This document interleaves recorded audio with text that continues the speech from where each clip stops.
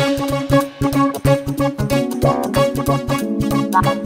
let's jump into the biblical text. John chapter number 18 is where we'll spend our time uh, today. This is uh, the final Sunday of, or the final Sunday before Advent, uh, where we are obviously moving into a uh, high holy day, a high season of liturgical worship for the Christian tradition. This particular passage is so interesting. Uh, as I was kind of vacillating between which passage to preach, I almost just picked a Thanksgiving passage, uh, but I looked at our lectionary passage and I found uh, a whisper from this text that just jumped out to me. And the, the theme of this passage is. Uh, uh, fits inside the lectionary. It's called the Reign of Christ, R E I G N, the Reign of Christ in the liturgical uh, readings of the text across the church globally. Uh, this passage is intended to uh, bring to light uh, the paradox, the kind of ways in which uh, the reign of Jesus, if you will, Jesus as as King, Jesus as sustainer and provider, uh, Jesus as Lord. What does that mean for us who follow the ways of Jesus in a time where it appears uh, that there is uh, the reign of empire, the reign of a form of violence that is both systemic and personal? Uh, what does it mean for us to follow Jesus in a time and in a season where uh, we may struggle to make sense? Of our lives in this context. And so uh, I, I, I, landed on this passage, and, and I find it to be a passage that may interestingly be more apropos during the season of Easter or Lent when Jesus is going before Pilate uh, on his way to the cross. Uh, and yet, I found this passage speaking uh, in a real interesting way to our current context. So I landed here. I hope the passage blesses us. I hope the preaching blesses us. I hope it gives us a little bit of a primer for what I think will be the significance of Christmas, the significance of this idea that Jesus is coming. Dare I say that Jesus has come. Dare I say that Jesus is going to keep coming again and again and again. Uh, I think it's a great gift of our faith to keep being reminded that Jesus continues to come, to show up, that we are not abandoned. You ought to pat yourself on the chest and say, I'm not abandoned. Amen. That's not the sermon title, but it could be. Praise God. But it won't be today. All right, John chapter 18. Uh, the text reads, and again, we don't have many slides today because we thought we weren't going to have any power. So you just have to uh, pull out your, your phones or something, or maybe they'll pull up the pull up something. But nevertheless, John 18. Uh, I'm reading from the New Revised Standard Version, uh, and this is uh, the pericope of the text. John records uh, these words. Then the Jewish leaders took Jesus from Caiaphas to the palace of the Roman governor. By now it was early morning, and to avoid ceremonial uncleanness, they did not enter the palace because they wanted to be able to eat the Passover. It's so fascinating uh, that you have these folks getting ready to turn Jesus over to the state, over to the Roman Empire and while they are getting ready to serve up the King of Kings and the Lord of Lords, the Savior of the world, they're doing it in a way where they can keep their religious practices intact. Ain't that deep? I just kind of just dawned on me at the 10th, 11th time reading the passage. That they wanted to make sure they handed Jesus over to Caiaphas in the palace in the morning so they would not be deemed unclean so they can still go to the temple at night or the next day. It's kind of like, you know, Christians in the, you know, 1950s down in, you know, I don't know, the South who lynched Christians at nighttime, you know, went to church in the morning, lynched them at nighttime. I don't know, stuff like that. You know, I'm gonna keep my religious practices, but I'm gonna be wicked when I leave the church house. Of course, that's none of us in here, amen. We very consistent. Somebody say amen. Give me a high five, tell them, at least you consistent. Amen. Mm-hmm. Verse number 29. So Pilate came out to them and asked, What charges are you bringing against this man? Talking about Jesus. If he were not a criminal, the Sadducees, Pharisees said, we would not have handed him over to you. Pilate says, Well, take him yourselves and judge him by your own law. They said, But we have no right to execute anyone. And this took place to fulfill what Jesus had said about the kind of death he was going to die. So, verse 33 Pilate then went back into the palace, summoned Jesus, and asked him, Are you king of the Jews? Jesus asked, Is that your own idea? Or did others talk to you about me? He was asking who's snitching on me, amen. It's like I'm surrounded by snitches, amen. Folks just loose with their lips and running their mouth. Because I didn't, I ain't, I ain't even told you nothing yet. Mm-hmm. Jesus, you know, probably turned up a little bit while he on his way to the cross. Verse 35, Pilate says, Am I a Jew? Pilate's like, Well, what are you talking about? Like, how would I know these things, right? Your own people. Mm-mm-mm. I almost preached a message said it be, it be your own people. But that felt that felt too petty. Somebody say, man, I didn't make one of my points, but you ought to tell you that it be your own people sometimes. Your own people and chief priests handed you over to me. What is it you have done? Jesus said, listen to this, because it's going to be the meat of our text today. My kingdom is not of this world. If it were, my servants would fight to prevent my arrest by the Jewish leaders. But now my kingdom is from another place. I love another version says that my kingdom is otherworldly. Man, that felt something. I said, mm, just like a, mm, I said, otherworldly. Woo. Don't you want to be a part of an otherworldly kingdom, amen? Don't you want to boldly go where no one has gone before? I know I do. Say amen. Verse 37 Pilate says, You are a king then. And Jesus answered, You say that I am a king. In fact, the reason I was born and came into the world is to testify to the truth. And everyone on the side of truth listens to me. And Pilate asked, What is truth? This is the word of God for the people of God. Let us say thanks be to God. All right, we're going to preach from the topic today don't ignore the truth. God bless the word that has been read for us, the people of God. We ask you to hide your, this word in our hearts so we will not sin against you. And please allow the preaching and the teaching of your word to be made easy to the people who are here to hear to grow, to be encouraged, to be healed, to be saved. Lord, may it set up shop in our hearts. And we'll say, Thank you, God. In Jesus' name we pray. Come on, let the people of the way say, Amen. Amen. Don't ignore the truth. Martin Luther King Jr. preached a sermon in 1954 entitled The Transformed Nonconformist preached while he was at Dexter Avenue Baptist Church, where he offered a powerful framework on how we ought to live as people straddling life within what he called two kingdoms the kingdom of time and the kingdom of eternity. And in this particular sermon, this is what he boldly declares, one of my favorite passages from Dr. King. He says that every true Christian is a citizen of two worlds the world of time and the world of eternity. The Christian finds himself in the paradoxical situation of having to be in the world, yet not of the world.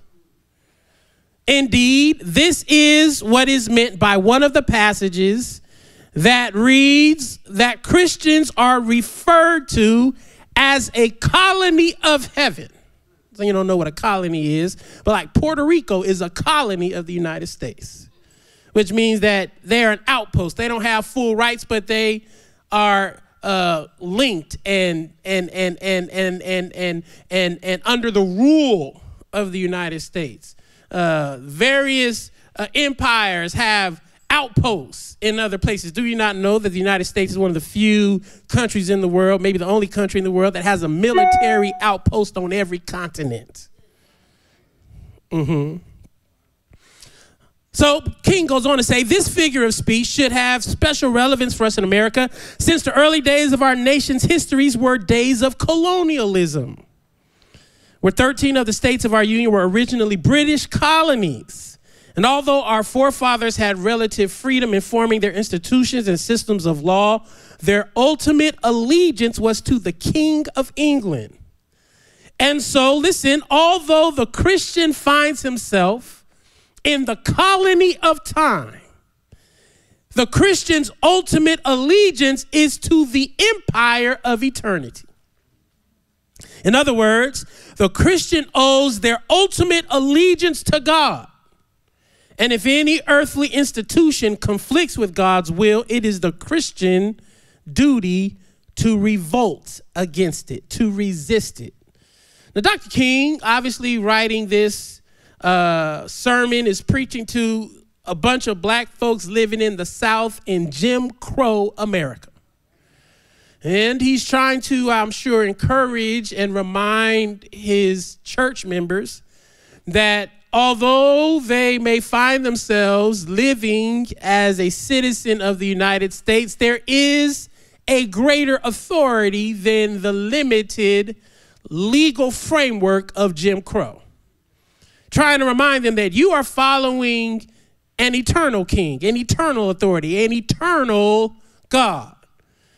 And I love Dr. King's intellect. I love his activism for so many reasons chief of which is his ability to both read and interpret, to reflect and act, to wrestle and resist with the contradictions of our human and divine situations.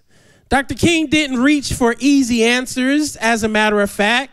He made concrete through a certain kind of spiritual and intellectual integration uh, uh, uh, articulation of what he called the beloved community, a description of how we could live, attempting to live out the commands of Jesus in a world that seems to be antichrist.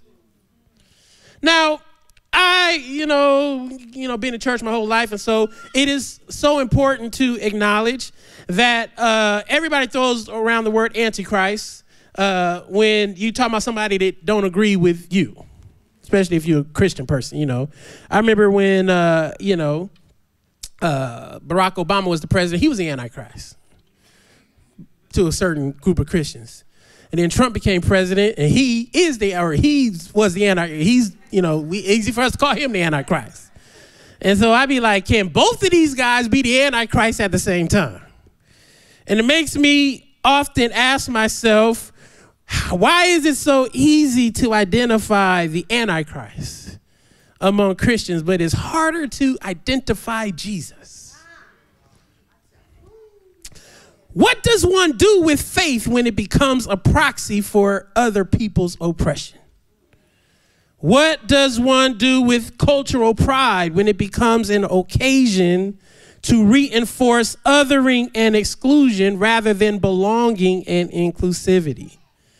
What do you do with your notions of love and intimacy that end up producing violence in your relationships? with your partner, with your children, with your neighbor, rather than pushing us towards peaceful resolutions.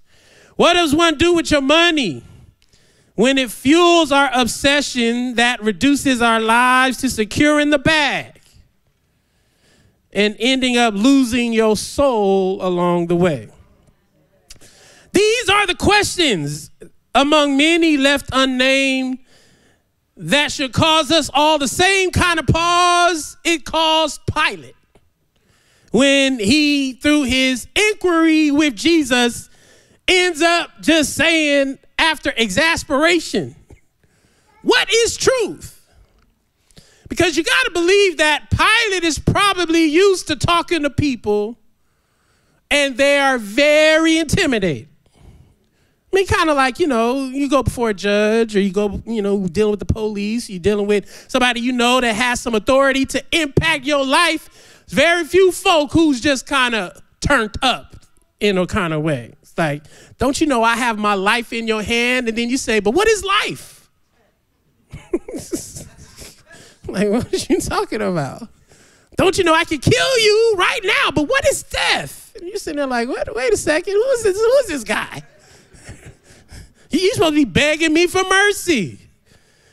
But how many of you know that there are moments in your life where the truth hits you in the face and it causes you to take a few steps back, almost like a good wake up call, almost like an alarm ringing and going off.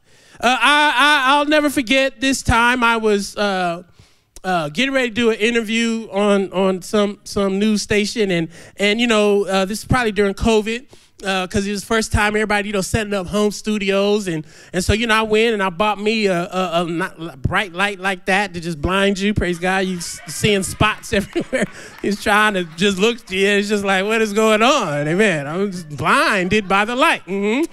And, and, and, and, and so I had this nice, big, you know, uh, table set up. And I, I thought I had a really good setup, you know, because in the early years of COVID, people were winning awards for their home studios.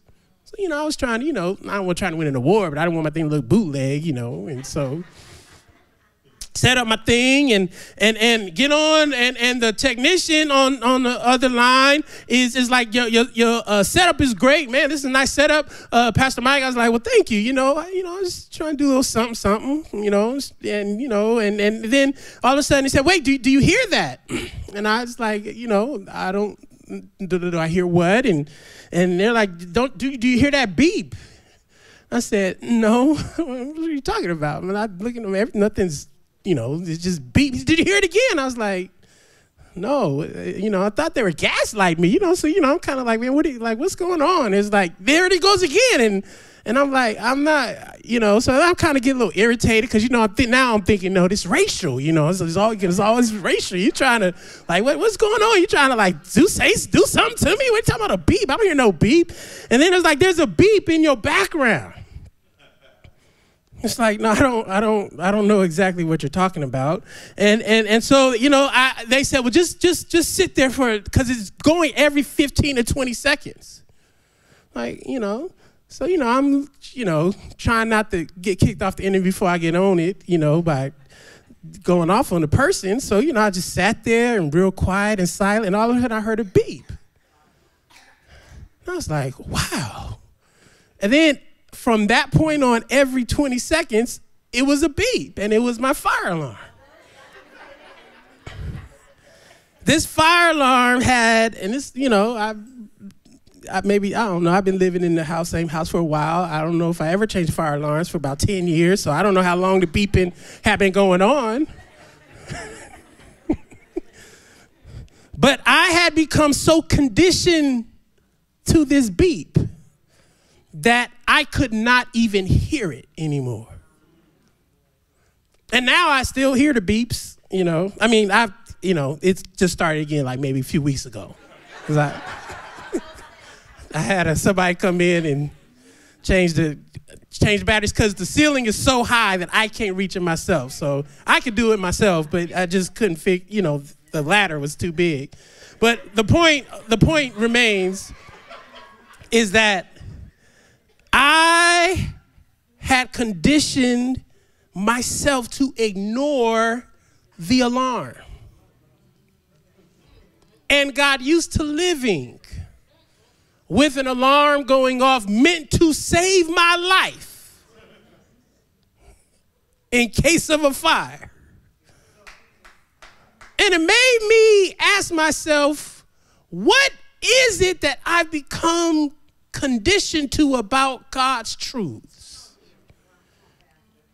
that makes me so familiar with it that I don't have a reaction like Pilate, where I get so exasperated with the conversation I'm having with Jesus to take a step back and say, Well, what you talking about, Willis? What, what, what, what is truth?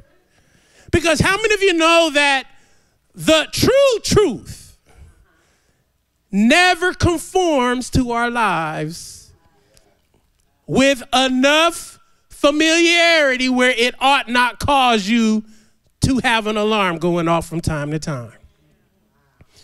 Many of us are like Pilate in that when we are face to face with Jesus, we often get confused about what we're seeing. Is Jesus a liberator? Is Jesus a moral exemplar? Is Jesus a teacher? Is Jesus a Christian myth? Does Jesus' way of life work in the face of inhumanity, in the face of depression, in the face of human struggles and challenges and injustice? Is Jesus' way relevant to my struggle to keep my marriage, family, children, job together? Is Jesus around while people are dying in my neighborhood and in Palestine and in in, in, in, in South America and the Congo and Sudan and Ukraine. And uh, is Jesus way relevant enough to sustain me when my money is funny and my change always feels strange? What is the truth? Well, Jesus records his sermons in these gospels in ways that continue to beckon us to wrestle with this question. Jesus says in John 14 that I am the way, the truth, and the life, which is to say, for the follower of Jesus, we're on solid ground if we start with Jesus as the source. But it's a start because Jesus' way of life is worth examining for we who are searching for truth. The foundation of Jesus' life is worth embodying for the follower of Jesus if we are serious about truth. But I got to admit that in a so called Christian society like America, that cannot be adequate because then you got to ask yourself which Jesus are we starting with? Oh, Lord, have mercy. There was a time where I wouldn't ask that question, but now there's so many Jesuses running around America today. I mean, I'd be wondering, Lord, have mercy. They just passed a, a, a, a law, the, the Board of Education in Texas, that is allowing a curriculum to be used in the classroom infused with Bible stories in a way that privileges American Christian discourse over other religious traditions. And I've heard it said by so many Christians that we got to get the Bible and God back in schools. And I, you know, used to say, well, did God ever leave? If if if if if if, if you there and then your kids is there, then I'm sure God is there. But so what what are we exactly talking about, right? And so, but you know, I know that there is this kind of sense that, you know, oh, the young people, they so godless. Ain't that what we say about our kids? Oh, they so godless as if the kids is raising themselves. Mm-hmm oh, the kids, they this and they that, as if they just got here and just, you know, picked it up all on their own. Similar efforts in Oklahoma, Louisiana are afoot, making this a growing trend among the Christian nationalist movement gaining steam in our country. Don't you know that it's very dangerous for a Christian nationalist version of Jesus to be taught in the schools? Amen. If, if that's the Jesus, that's the Bible you're going to put in the schools, I don't want Christianity taught in the schools especially by those folk. Did you not know that there was a Bible given to the slaves and they cut out all the scriptures in that Bible that had anything to do with liberation and freedom? Say, here, read this Bible. Well, that's what they want to put back in the schools, in my opinion. They ain't gonna cut the scriptures out, but they just gonna tell the story of Jesus in a way that negates what I think truth requires. What good is it to teach Christianity in the classroom? But leave out Christ. What good is it to require Bibles in the classroom but ignore the truth? The truth to me, to us, I pray, is the Jesus of the Christian nationalist movement that just elected Donald Trump to be the president of the United States is not the Jesus that came to save the world from their sins. The Jesus of the Make America Great Again political cult. I got to be careful because now they're trying to come after nonprofits. But guess what? We just gonna be a non. We gonna be a snatched nonprofit. Sorry, I have to find another charity to donate to. Somebody say amen. But how many of you know that Jesus that we read about in Scripture taught us to love our neighbor as ourselves? Taught us to love our enemies. Woo! I mean, know even I, I, I, don't want the, I don't I don't be wanting that Jesus all the time. Be like Jesus, I don't love my enemies. You don't know my enemies. My enemies ain't worthy of that love. That Jesus taught us to make peace and not war. That Jesus taught us to take care of the poor and the destitute. That Jesus taught us to bring the kingdom of God on earth as it is in heaven. This Jesus, somebody say, This Jesus. This Jesus is the emperor of the kingdom of eternity. Which just is to say, beloved, that this Jesus never loses their claim on our lives. All of us may find ourselves living under a kingdom of time. But how many of you know that all of us at the same time are still living under the authority of the King of eternity, who is asking you and I to wrestle with the truth. And one of the biggest questions I have for us today is in light of all the things that we must deal with in your personal journey, in your in your physical life, in your mental life, in your spiritual, your relational life, one of the questions I want you to wrestle with today is what will you do with the truth? The truth that is eternal, the truth that reveals himself to us. What will we do with the truth when the truth is hard to handle? Jack Nicholson said, You can't handle the truth. And he was right. Some of us can't handle the truth. Some of us don't want the truth. Some of us want to believe a beautiful lie. Lord, help me in here today. How many know a beautiful lie is very convenient? It, it, it, it, it lets us off the hook in places where we have tension, but it leaves us intact in places where there is no dissonance. But I have found that the truth will set us free if we will surrender ourselves to the tensions of this truth. I have no problem with you and I wrestling with the truth, questioning the truth, because Pilate did, Jesus did.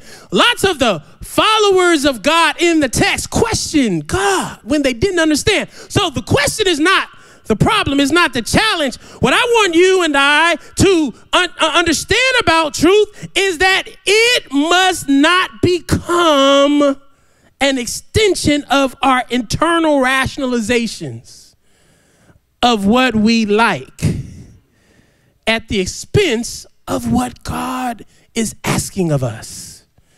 It cuts both ways. It cuts both ways in your marriage. It cuts both ways with your kids. It cuts both ways with your finances. It cuts both ways with your politics. It cuts both ways. It cuts all kind of different ways. Can anybody just think of the times where you you knew that God was asking something of you, but you rationalized it away? I don't mean to be in your business that bad, but a little bit. How many can be true, uh, honest with yourself and say, I know that this was true. It wasn't necessarily written down on no Ten Commandments. It wasn't necessarily preached to me by the preacher, but there was something inside of me that said I ought not treat this person this way. I said, but you know what they did to me? Anybody? Is that just me? Just internal rationalizations? Internal conversation you have with yourself to excuse behavior that you know wars against the way we are called to live today. And I believe that one of our greatest challenges in this season is to appreciate that there is truth that must not be compromised by we who follow the way of Jesus. And I'm not talking now about a list of sins and do's and don'ts. I'm talking about that conversation you have with God.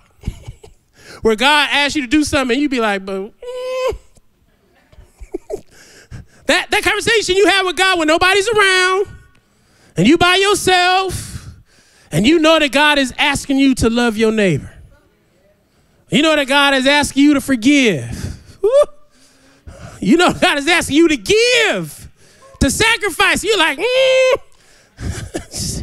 what about me, God? Anybody ever told that to God? What about me, God?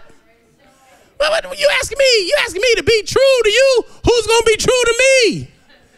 I wish I could talk to you the way I talk to God. Amen. Like, who, who what, what about me? Anybody ever felt like I, I'm being asked by God to just be out there on the ledge?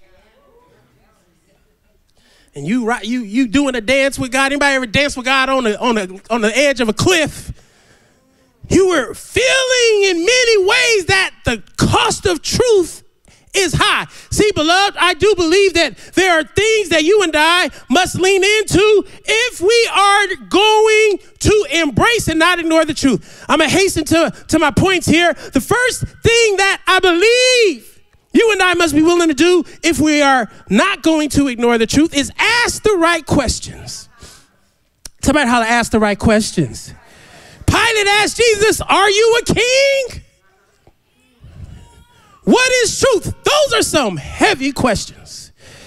I find that I am more willing to ask my therapist harder questions than I am God. And I don't want you to, you know, uh, demean or not talk to your therapist because sometimes your therapist is an agent of God. I know mine is. Somebody better thank God for my therapist. Man, I'd be locked up somewhere. Be like, man, Pastor Mike need to go see a therapist. Give your neighbor a high five. Tell him see a therapist this week. It's okay. Hey man, you you didn't go see somebody. Go lay down on that couch or sit in that chair and let the truth of healing of your mind. But how many know that you ought not say to your therapist what you cannot say to God? You ought to have a life of prayer and conversation with God whereby you can ask God some hard truths. Why do the wicked seem to prosper and the righteous struggle?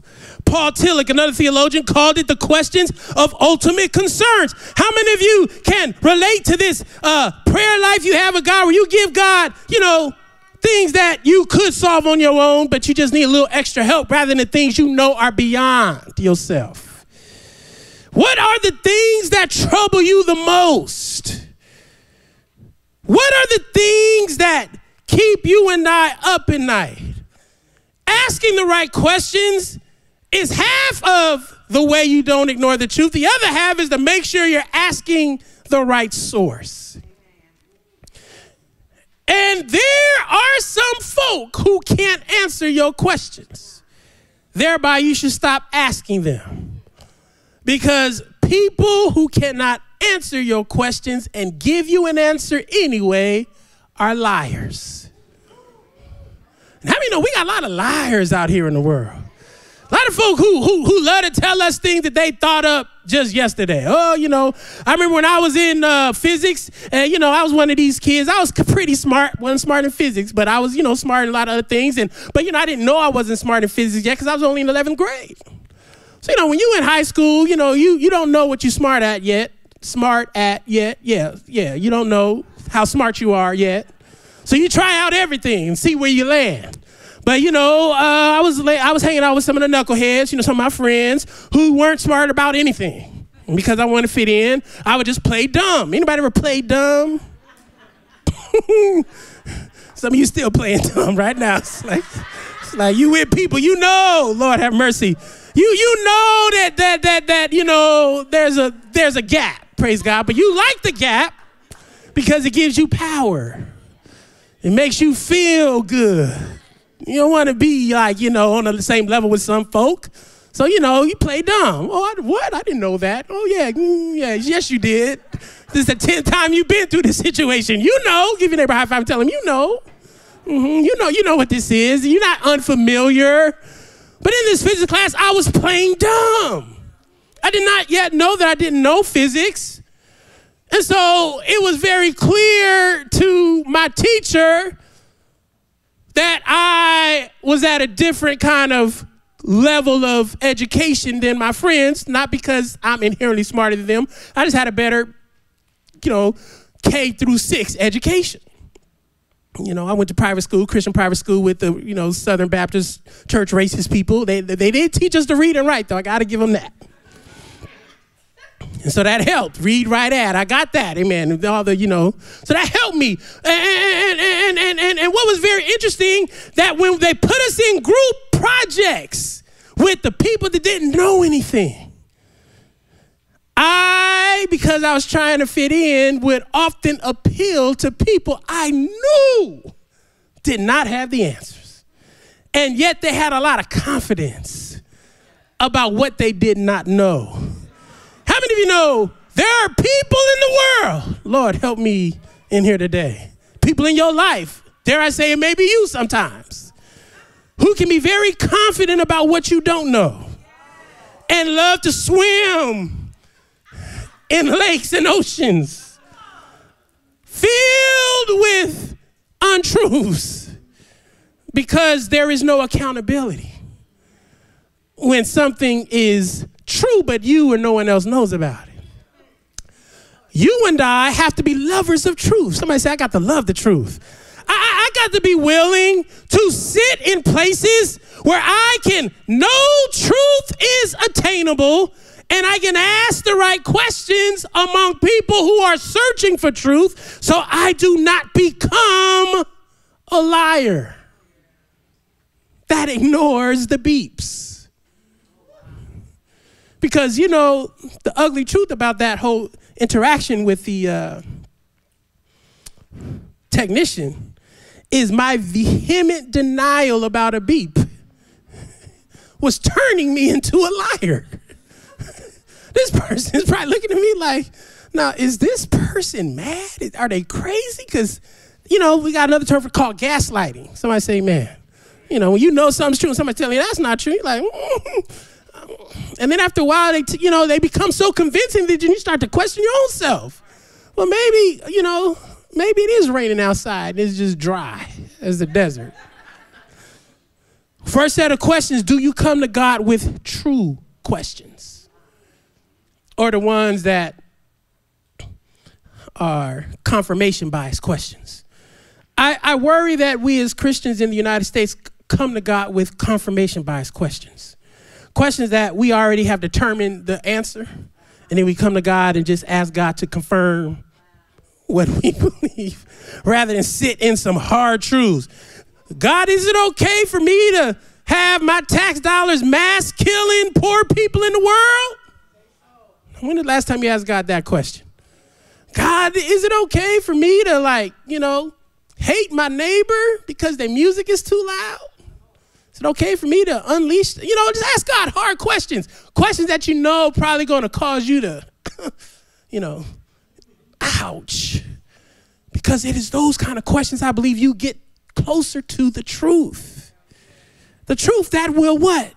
Set you and I free. Second thing, the question uh, uh, that, that I think is important for you and I, if we're not going to ignore the truth, can we live? No, not can. We must be in faithful community. If looking for the truth among liars is the wrong way, direction to the truth, how many of you know living in faithful community is critical to stumbling into the way of truth? I, again, am someone who finds myself constantly asking God, What do you require of us in this season? I ask God often, you know, is your work in the world static, meaning just very unalive? Is it as concrete as this, po- this podium? It does not bend. It does not. Is it? Is it? Is it uh, uh, unable to to, to adapt to the realities of our current circumstance. Because there is something about a faith that is doctrinal driven and not spirit driven. It is, it is, it is a role for doctrine and theology. Obviously, I study it, I embrace it, I love it. It provides stability. And yet, I know there are parts of my life's journey that I see the Spirit moving in between the gaps. I see the Spirit showing up to heal in places that the doctor said was not able to be healed.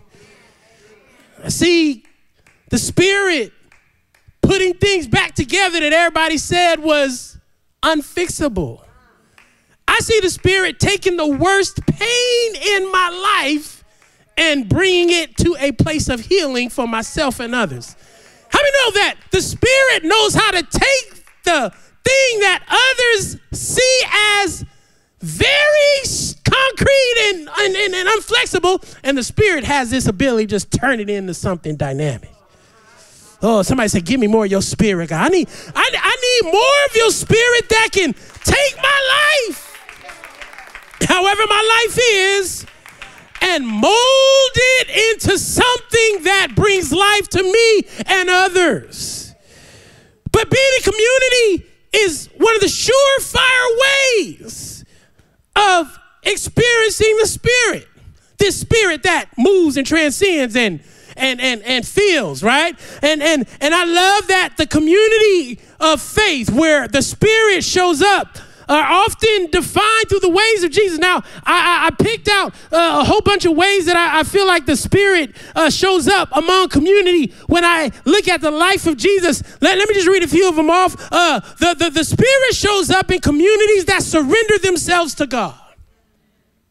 Now, this, this may seem rudimentary, but I have found that surrendering oneself to God is a lot easier than it sounds.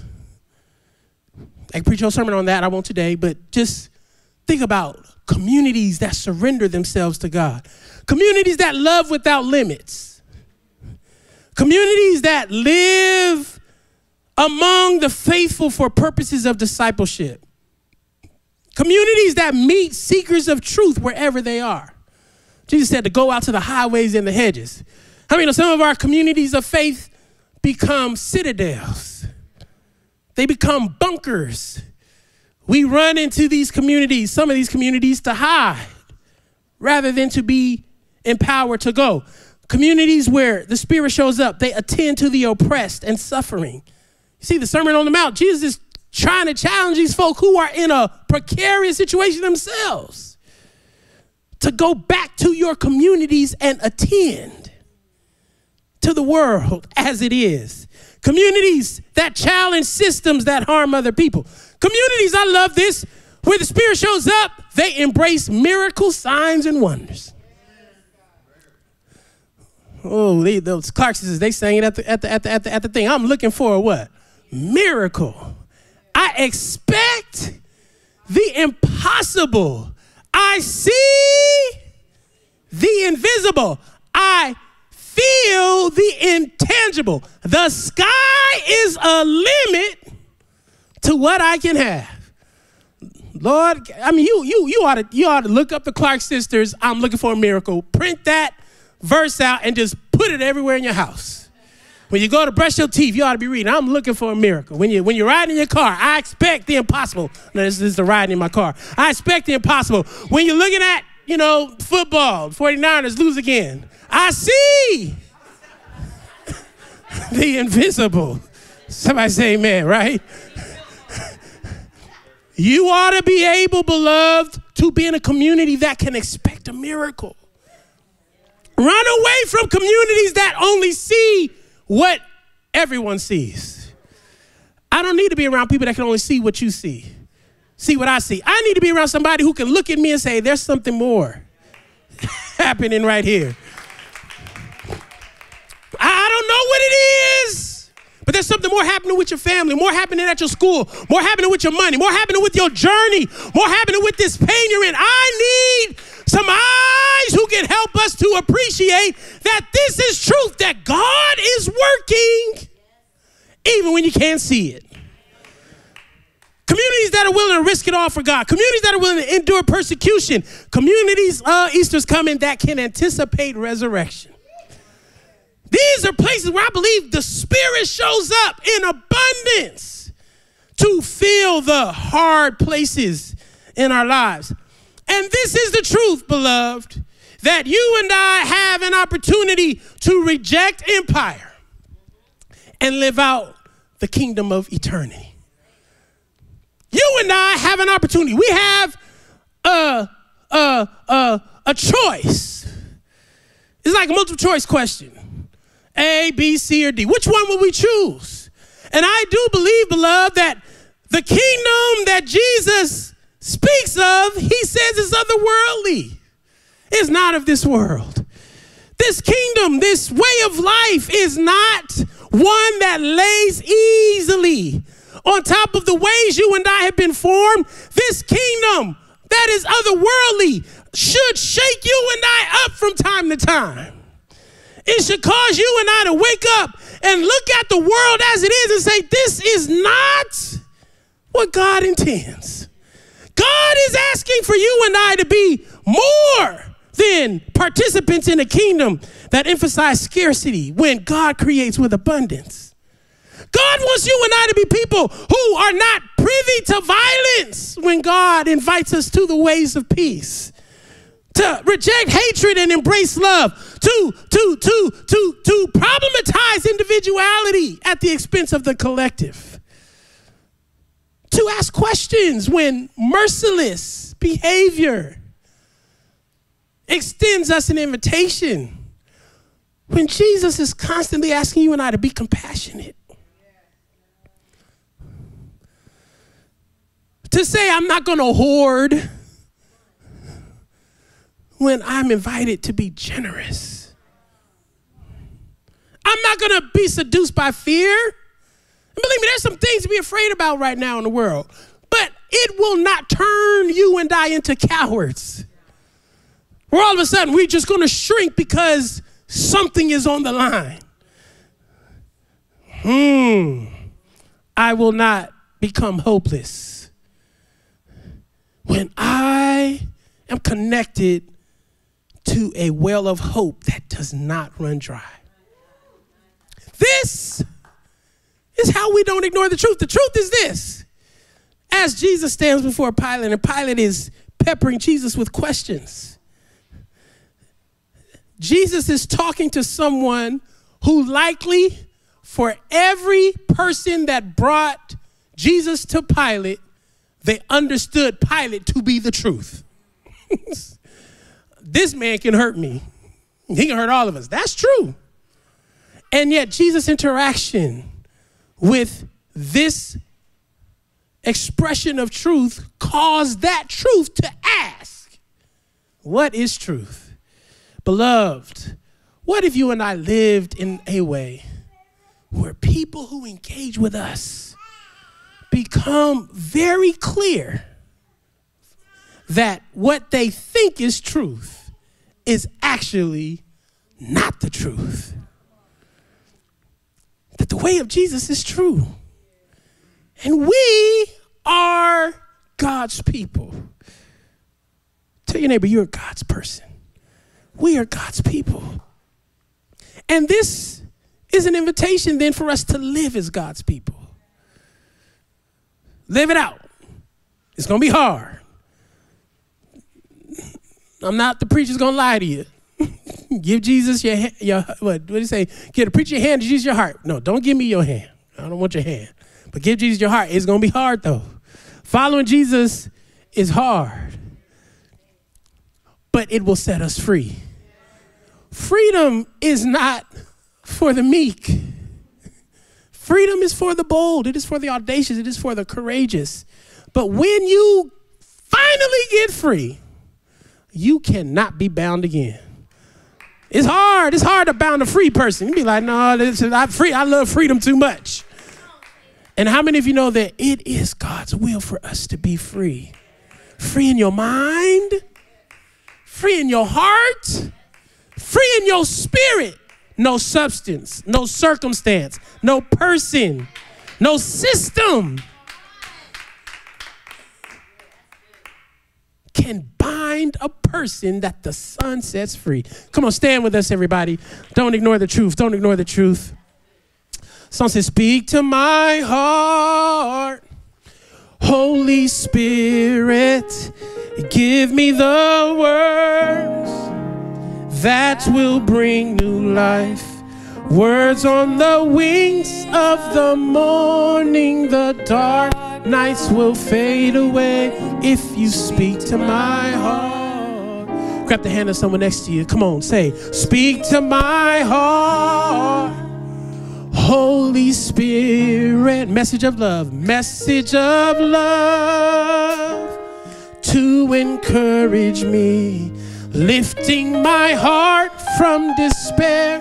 How you love me and care for me, Lord, just speak to my heart. Speak to my heart. Oh God, speak to my heart. Say it again, speak to my heart, speak to my heart. Hey, speak to my heart. Oh God. Say with us, speak to my heart, Lord. Give me your holy word. If I can't hear from you, then I'll know what to do. I won't go alone. I'll never go on my own. Just let your spirit guide and let your word, come on, say it again. Speak to my heart, Lord. Hey, give me your holy word. If I can't hear from you, then I'll know what to do. I won't go alone, no, no. I'll never go on my own. Just let your spirit guide and let your word. God bless the hand that I'm touching today, God. It is our desire to have a conversation with you. God, we want to be Pilate in this situation, someone who is either bold enough or even in a position enough to have a real conversation that leaves us questioning what we thought may be true. I pray, God, that the person I'm touching today, who is indeed dealing with all kinds of real challenges, these are not falsehoods and fakes and counterfeits. These are real challenges, God. I pray that they will have a confrontation with the truth. God, with the alarm that is beeping consistently in their ear, inviting them, God, to ask hard questions to you, God, and not to liars and fake emperors and sources that are not able to give them the answers they seek. I pray, God, that victory and healing and power would be theirs. I pray, God, that you will move them from a place of doubt to a place of confidence that engagement with you is worth the journey.